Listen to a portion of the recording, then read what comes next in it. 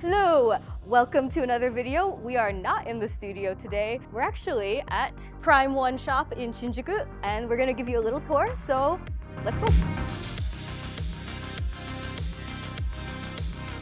So first off, when you enter the store, they've currently got this giant display. These are the Cutie One figures, and this line is currently celebrating its third anniversary.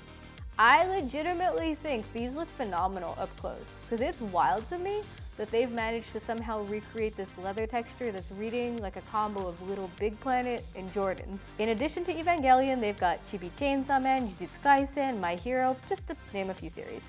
The backstory for this style is the original characters that they made behind me are little aliens who go crazy for Earth's media and make their own costumes and dolls.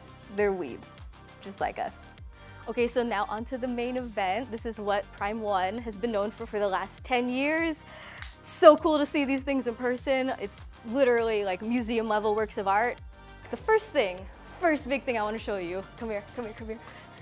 It's the Berserk figures, they're so cool. They're so cool, dude. Sorry, okay.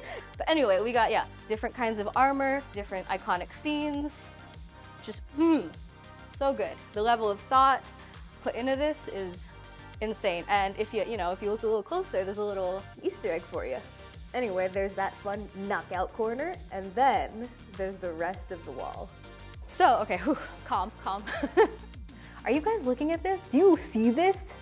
Delicious. And okay, a lot of work.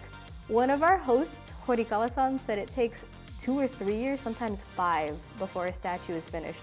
And the very short version of that process is the whole lot of back and forth between a statue's artists and all the parties involved until everyone's happy with 3D printers doing a lot of heavy lifting for prototypes.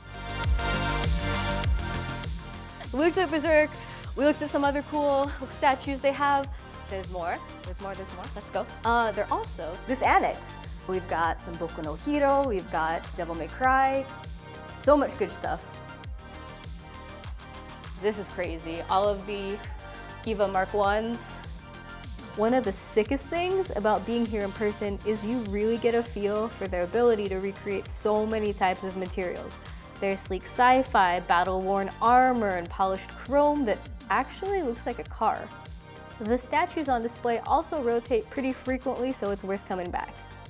All right, so we looked at all the gritty stuff. Now we're gonna go back to the cute side of things. As of now, Prisma Wing is Prime One's newest brand that focuses on anime and game characters. Roxy and Riku are unfortunately delayed, but they look very much worth the wait, and hey, I don't want to see any hate in the comments. Prime One's working hard for y'all over here, and they look great.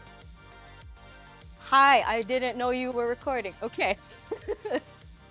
yeah, I might be doing a little shopping on the job. Don't judge me, please. But anyway, that was the shop in the Shinjuku Marui Annex super close to the station. So, you know, if you want a little break from all your other, you know, activities in Japan, this is definitely worth checking out just to see like the artistry on display, whether you're into cute stuff, the more gritty stuff, video games, anime, they got it all.